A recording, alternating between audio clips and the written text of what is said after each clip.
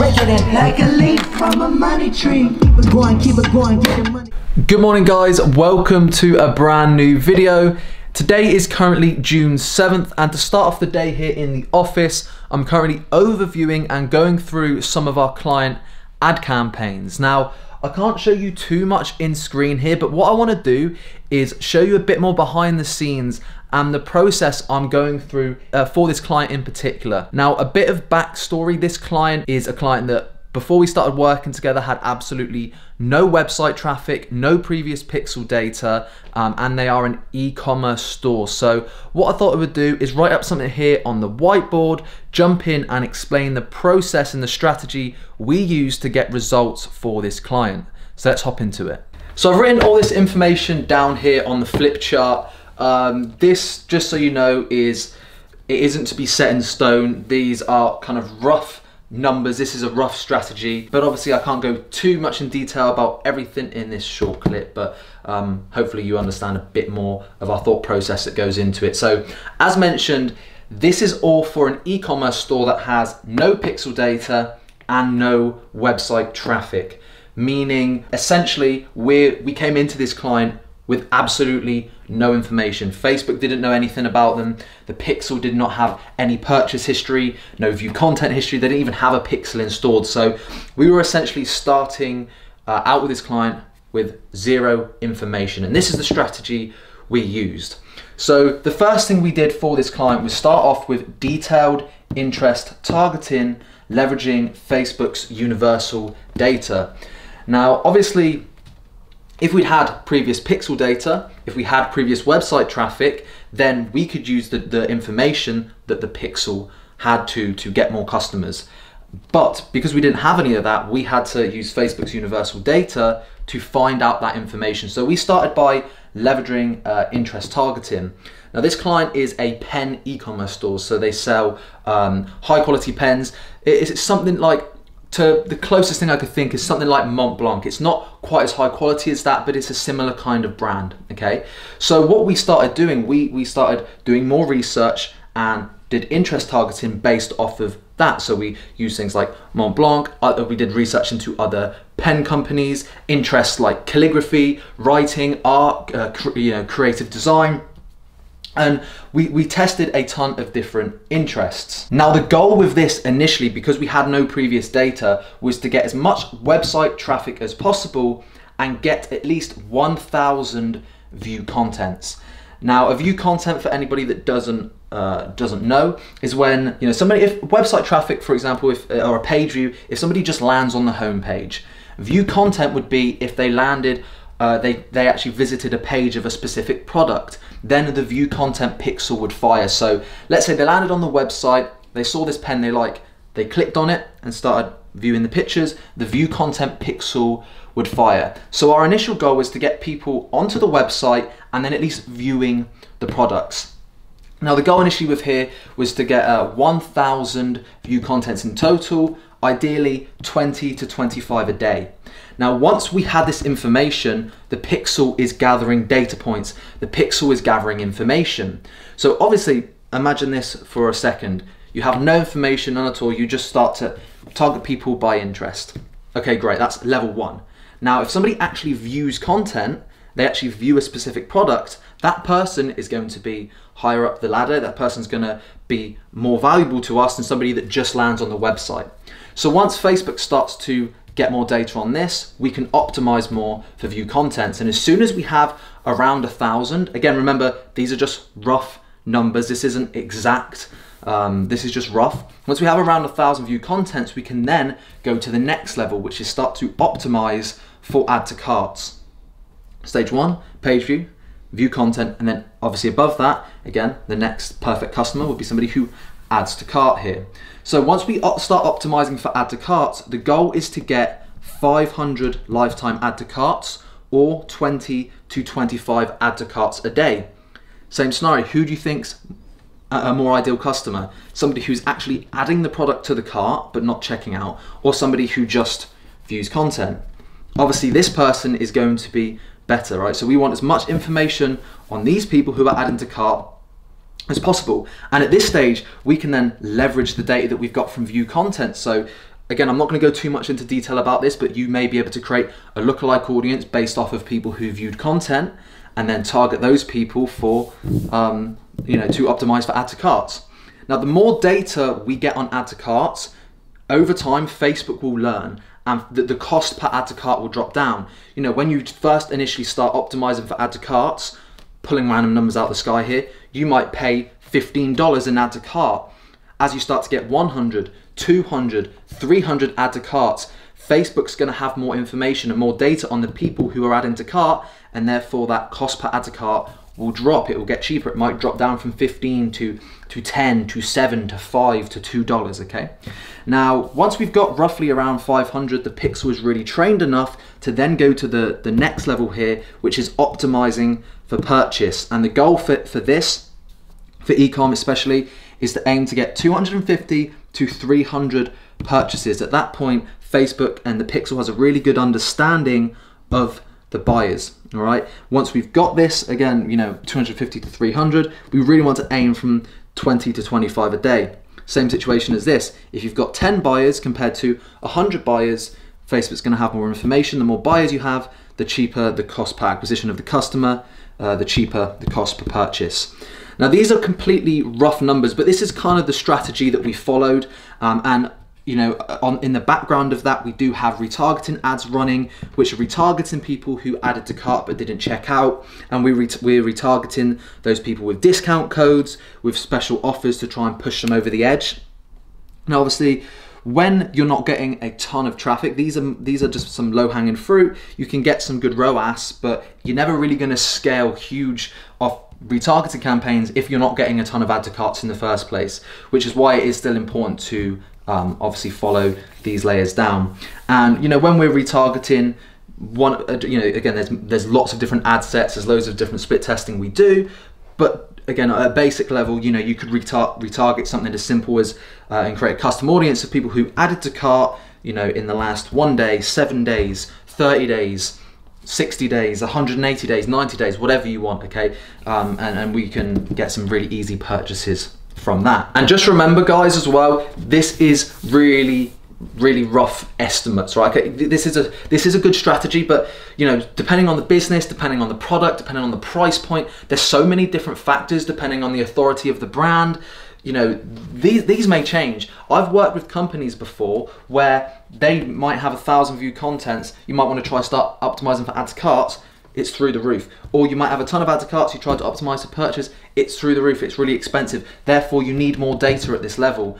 Um, there's so many different factors to, to take into consideration. I've, I've also experienced it the other way around as well, where you know you might only need 100 add to carts and then you might be able to start optimizing for purchases. Boom, profitable because it's a great product because you know they um, you know the rest of their marketing is really good. They've got a, a really good follow-up email sequence which grabs purchases off the back of your cold traffic campaigns. So there's a million things to take into consideration and what you've got to understand is as Facebook advertisers and as an agency, it's your goal to get this right. Now obviously you can consult them on their website. You can give them information uh, and recommendations to how they can improve their website.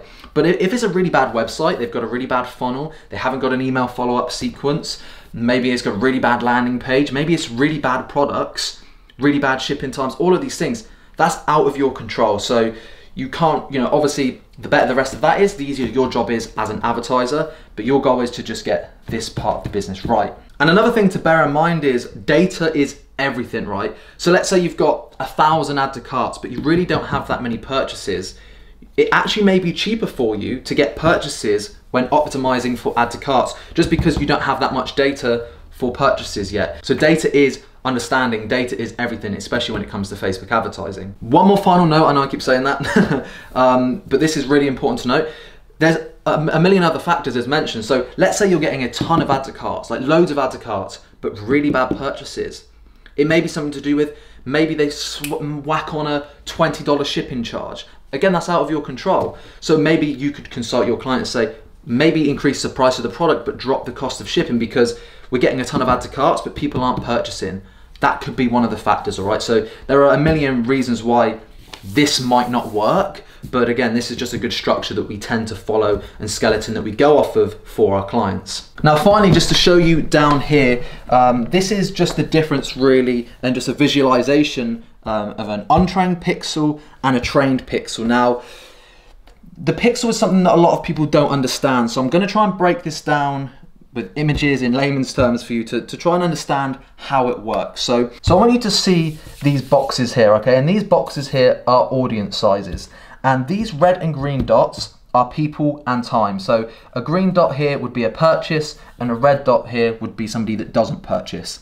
Now, when you've got an untrained pixel, what happens is you run your ad and Facebook shows your ad to this person. Okay, great, you might get a purchase. But then an untrained pixel is still going to go through that same size audience and it's going to have a failed purchase, have a failed purchase, failed purchase. And as this goes along, we're spending time and money. So let's say along the top here, you've got one, two, three, four, five, six. So it shows it to, and by the way, this is rough numbers, you know, um, you know, so it shows it to six people and you'd get two purchases. Now you're paying for your ad to be shown in front of all of these people. This is what an untrained pixel does, okay? You can see it's the same audience size, you're spending all the money, you're gonna go all the way down. Now on a trained pixel over here, what Facebook does, because of all the data it has, all the data points that it understands, a trained pixel will know your ideal customer. So rather than just showing it to a ton, if you look over here on untrained, rather than showing it to a ton of people who aren't gonna buy, Facebook knows and has the data points of people who are more likely to buy, so it's going to show it to them first. So a trained pixel will show it to a buyer, a buyer, somebody it's not going to buy, a buyer, a buyer, a buyer, a few people that won't buy, a buyer, a buyer, a buyer. And eventually it's going to show it to all of those buyers first. Now, as you can see here between the two, the audience size is exactly the same. But as you've got time and as you've got money, Facebook isn't going to show it to this bottom half meaning you're saving money and your cost per purchase is going to be cheaper. Now at this point here, you know, as, as you can start running ads, you're not getting purchases, it's your job to cut the ad off and stop running it. But you've got to bear in mind, I'm showing you a square here that's got 36 dots in, 50 dots in, whereas really we're talking about audience sizes here of millions and millions of people. Okay, so realistically, your ad isn't going to show to 50 people and then you're going to exhaust the audience and then it's going to stop making money, right? We're talking about audience sizes of thousands, tens of thousands, hundreds of thousands, millions of people. So this is why when you have a trained pixel, the ROAS is much better. Your ROI is better because you're not spending money reaching people and getting failed purchases. Here, you have to exhaust all this audience to get the same amount of purchases as you would in the top half of a trained pixel, meaning your ROAS could be double, triple, quadruple, 10x, okay? Now, and this is the same, but bear in mind that this is just talking purchases, but this works on any level of the funnel here. This works for, for view contents. It's the same situation. As you get more view content uh, information, and you start to have a trained pixel for view content, it's going to reach those people first and the cost per view content will drop. Same with add to cart, same with purchase. So again, I hope this made sense to you all. Hopefully you understand it. I know this clip went on for, for a long time, but I get a lot of questions about Facebook advertising. And it's not something I've spoken a ton about um, on this YouTube channel. So yeah, Hopefully that helps, hope you understand it. Again, this is generally what we use for e-commerce stores that have no pixel data, no traffic when first start working when you first start working together. If you work with if you go and work with the business that already has a ton of pixel data, you might be able to start here. So that, that's the main difference, right? You might already, because of the pixel data, because of the traffic, you might be able to come straight in and boom, optimize for this from day one, okay? But um, yeah, hopefully that helped. And if you have any questions about Facebook ads, anything like that, drop it in the comment section down below. So I know that was a long clip, but I hope you found value in that. Um, I know this is a very heavily Facebook ads focused video so far, but what I thought I would also do now is just jump into my PC really quickly and show you a really good way that you can actually optimize um, your ad sets and optimize your campaigns to kind of get through those different levels at a, qu a quicker pace and drop your uh, cost per conversion. So let's hop into screen now and I'm gonna show you what I'm talking about. Okay, so I'm just inside one of my clients' ad accounts right now and I'm inside one of our website conversions uh, campaigns that is optimized for add to carts. So as you can see here right now, the day has only just pretty much started. So this ad really hasn't spent that much, but it's doing really well. We're getting 23 cents uh, per add to cart. We spent a total of 160 today. At an ad set level here, we go into view charts. Now, what you can do here, you can look at performance, demographics, and placement. So what we'll do right now is we will take a look at demographics. So if we click demographics here right now, you can see all of this information. And obviously, as mentioned, we've only got seven add to carts, so there really isn't that much data there. Um, you know, this plays more uh, of a part when you've got 70, 100, 700 add to carts, then this data will, will really show some interesting facts. But if we take a look just here right now, I mean, to be fair, even with seven, this is still really beneficial to understand. We can see here, so the, the, the blue lines here are the results, which are the add to baskets. The green is the reach. So we can kind of ignore the reach here for a second. We want to look at the actual conversion, which is the add to cart. So if you see here, based off of this data, all seven of the people that added to cart were men. All seven. And zero women. So if you go over to men right now, if we were just targeting men, if we were just targeting men, rather than 23 cents an add to cart, we would have actually been paying 14 cents per result. So 14 cents per add to cart.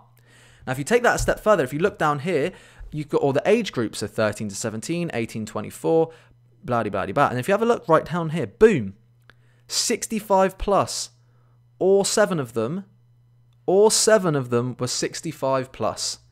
So if we had targeted in this ad set just men 65 plus, we would have paid 5 cents per add to cart. Now, one thing I want to make one thing clear. You, what you do not want to do is go in, just edit the ad, remove those variables, because if you do that, the ad may, may take a few days to learn and your results may go trash for a few days.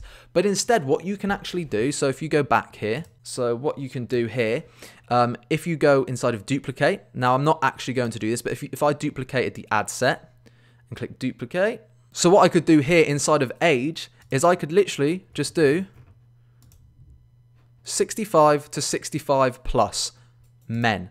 So then what I can do essentially is just target those people. So duplicate the add set and alongside the current ad set, split test just those um, audiences, just that information that we got from viewing the charts. So this is a really good way to, again, get that cost per conversion down quite a lot. With seven ad to baskets, it's really not that much data, but you know, as you get more and more information, just go into the view charts, look at the information. So not only right there as well, I'll show you something else here. So if we go inside of view charts again now, so if you go to placement here as well, you can see Facebook, Audience Network, Instagram, and Messenger. So if you were running ads to all of these um, other places, then again, you could see where the results are coming from.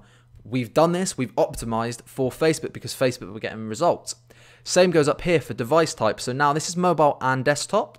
But if you go ahead and click desktop only, nothing's coming up. And why is that? Well, that's because we've already done this optimization ourselves and we realized that mobile was getting all of the results. So we optimized that, we cut off desktop and are now actually targeting mobile only because that was what was getting all of the results. And, you know, rather than actually exhausting ad spend, spending money on desktop, we've decided to cut that, just go all in on mobile, and we're not spending that money, wasting that money.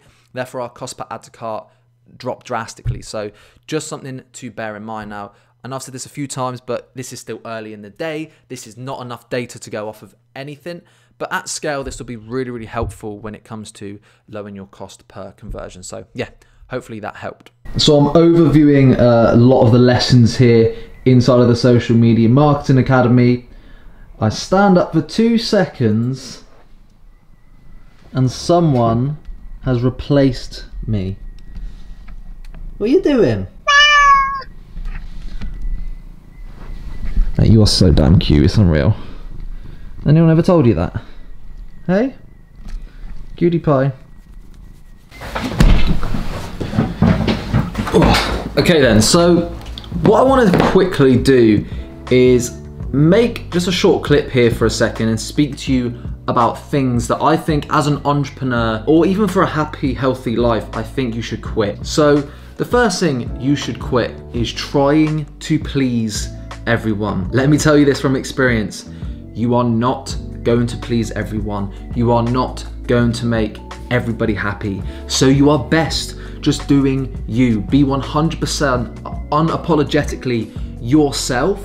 And if people like it or if people don't like it, doesn't matter. Because if you do or you don't, people are to love you and some people are going to hate you. The second thing then that you need to quit for a happy, healthy, successful life is you need to quit fearing change. Don't be afraid of change. Now, there's absolutely nothing wrong with consistency. There's absolutely nothing wrong with routine, but don't be afraid of change. Don't be afraid of innovation. Think about it. The person you are maybe right now, or the person you are that makes $1,000 a month or $2,000 a month isn't the same person that you need to become to make 100,000 a month or 200,000 a month or 10,000 a month even. You need to change. You need to become a better version of yourself. You need to do different things. You need to create different habits. Quit fearing and being scared of difference and change. The third thing you need to quit is living in the past.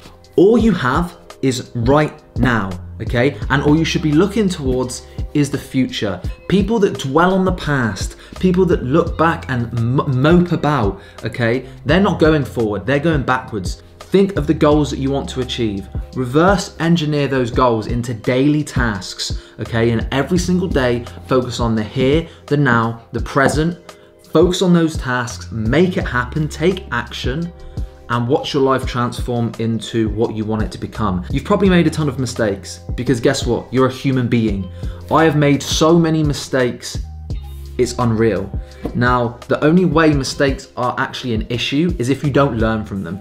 If you make a mistake in the past and you make that same mistake again, shame on you, okay? That's your own fault. You didn't learn from your mistake. Everyone makes mistakes, and mistakes actually aren't mistakes. They're lessons, providing you actually learn from them and, and, and don't make them again, okay? So stop living in the past. Your, your past does not equal your future. You need to focus on the today. Be present for today. Be grateful to be alive today. God, life is an absolute blessing, but also be focusing on the, on the future, what you want to achieve, what you want to become, and focus on becoming the best version of yourself. Number four, stop putting yourself down. If you don't believe in yourself, who on earth is going to believe in you? Stop telling yourself you're not this, you're not that, and focus on what you are. Focus on your strengths and double down on your strengths. Stop telling yourself you're not worthy of this, you're not worthy of that, you're not good enough for this, or you're not good enough for that person, or you are, you can achieve and become whatever you want. And if you're watching this right now, I'm just gonna tell you, you're a beautiful person. Life is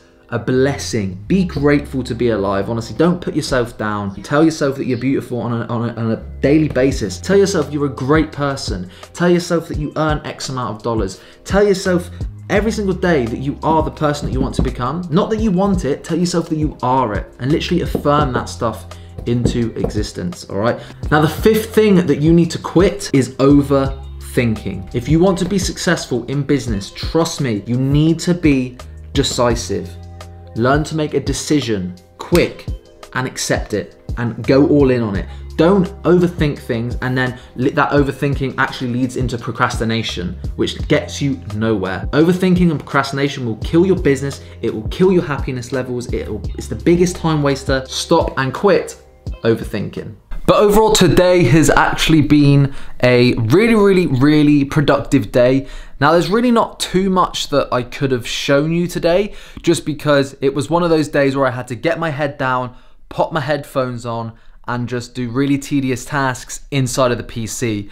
Basically, this whole day, all I have been doing is overviewing um, the videos that have been edited for the Social Media Marketing Academy. So I've just been in my computer watching course videos for hours and hours on end. So it's one of those things that I just had to get done, but not really much I could document. So I'm hoping you kind of enjoyed more of a um, informational style vlog today in front of the flip chart there and inside of the PC. I know we spoke a lot about Facebook advertising. So hopefully you enjoyed this video. The Social Media Marketing Academy update is coming very soon, meaning I'm gonna start having a ton more um, sales calls with prospects and potential clients and therefore gonna have a lot more to document inside of the vlog. If you have any questions that you want me to answer in the next video, drop them down below. Hit that subscribe button if you are new, and I will see you in the next video. Take care.